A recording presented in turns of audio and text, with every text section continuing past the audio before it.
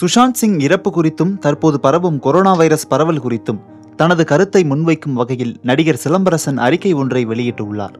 அதில் மிகுந்த துயரமான நாள்களாக இந்த சில நாள்கள் கடந்து போகின்றன.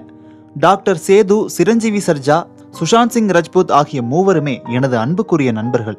இவர்களது இழப்பு என்னை மிகவும் பாதித்துள்ளது. இதனை சினிமாவிற்கான இழப்பாக பார்க்கிறேன். எனது நண்பர்களை இழந்துவிட்ட பேரிழப்பாக பார்க்கிறேன். இவர்களின் ஆன்மா இறைவன் மடியில் இலைப்பார வேண்டிக் கொள்கிறேன். இழப்பால் துயருறும் மூவரின் குடும்பத்திற்கும் ஆறுதல்களை தெரிவித்துக் கொள்கிறேன்.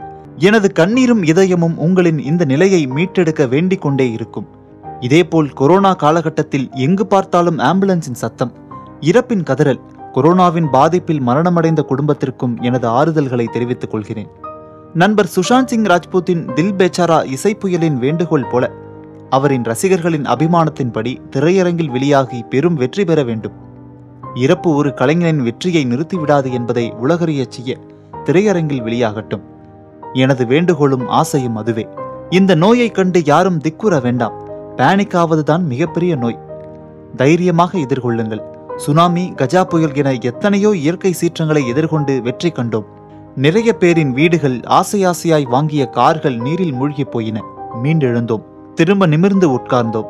இந்த கொரோனா நம்மை நமக்கு உதவி கொள்ள வழிவகுக்காமல் வீட்டில் முடக்கி போட்டுள்ளது. நேரடியாக உதவி செய்ய முடியாது. ஆனால் ஒருவருக்கொருவர் தைரியம் சொல்லுங்கள்.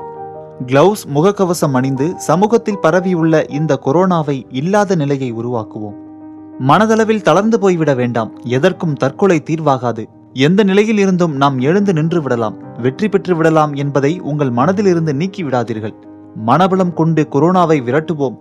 நோய் எதிர்ப்பு சக்தியை உருவாக்கிக் கொள்வது முக்கியம். நாம் நம்மை இழந்துவிடக்கூடாது என்றால் தைரியம் கொள்வது மட்டுமே தீர்வு.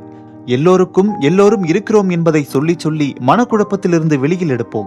அதுவே நாம் இப்போது செய்ய வேண்டிய முக்கியமான வேலை. செய்வோம். இந்த இடரை தாண்டி நிலை பெற்று வெல்வோம் என கூறியுள்ளார்.